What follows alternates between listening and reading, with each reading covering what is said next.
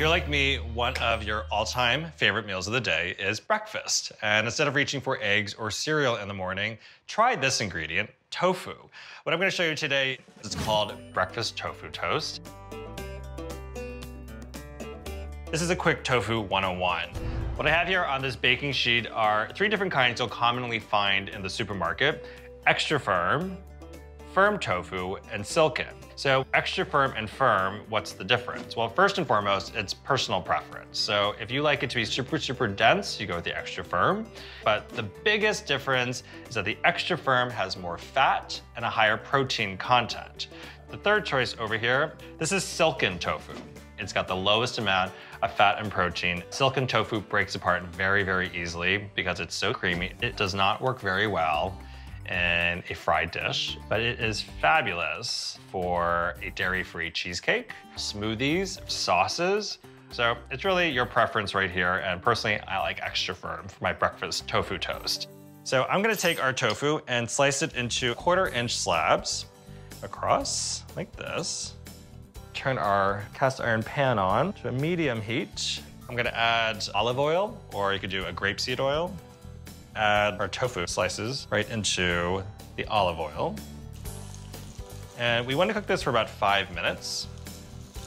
And we're gonna make our tamari sauce. We need four tablespoons of water. We do two tablespoons of this beautiful earthy tamari. You can use soy sauce, but tamari is lower in sodium. And now we add one tablespoon apple cider vinegar. It adds this really great tanginess, and it's so good for you too. Let's give it a nice toss like this. And then I think it's time to flip the tofu. You can see it's starting to brown on the outside. And we're gonna take some really great dense bread, some unsalted butter, generously butter both sides. You also can use coconut oil. That here like this gonna lower the heat on our tofu. And just very slowly add this on here. Tofu on its own doesn't have much flavor, but it's kind of like a sponge. It really absorbs all the beautiful flavor of whatever you're cooking with it. We're gonna give our toast a flip. Okay, we're gonna plate this. Take a nice crunchy, hearty toast, two slices of our beautiful tofu sauerkraut. This is really good, fresh farmer's market sauerkraut.